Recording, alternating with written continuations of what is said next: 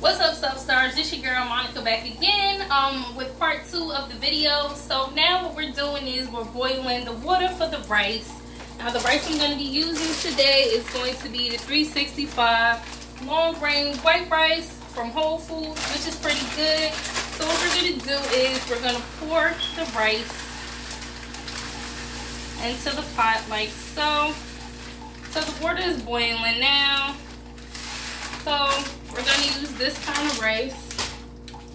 And turn the fire down a little bit because now that the water is boiling, I'm also gonna use this uh, Iodized salt. And this is by Diamond Crystal. This is some really good salt to use. So we're just gonna sprinkle a little bit into the pot like so. And then we're gonna start to stir. So now that the water is boiling, you're gonna just kind of stir it a little bit. And also I'm gonna make some vegetables. So I'm also gonna use this um, vitamin fuel asparagus. I actually got this from Aldi. This is some pretty good asparagus if y'all can see it. So this is also what I'm gonna use. I'm not gonna use the whole bag because you don't need it. You need just enough just to make your asparagus. I'm gonna take this like so and just place it into the pot. I'm gonna use a smaller pot actually.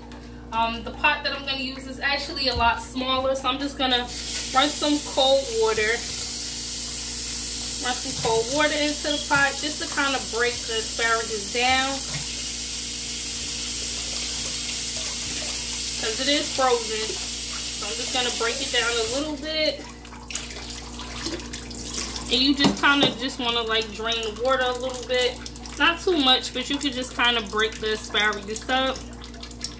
And then you can just make it like that.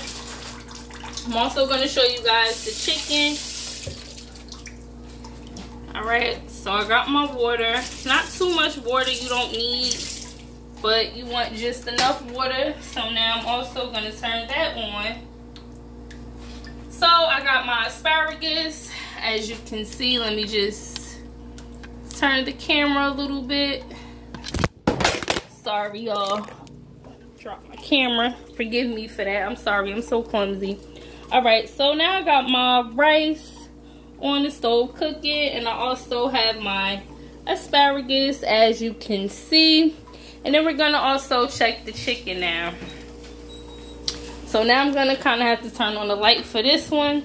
So it's a little bit brighter. And as you can see, I'm to check on the chicken. As you guys can see, the chicken is pretty much almost about ready, about done. So I'm just kind of letting the chicken, you know, brown up a little bit. Not too much, but just a little bit. So I'm gonna let the chicken brown a little bit more, let the rice cook, and then we'll be back. Stay tuned.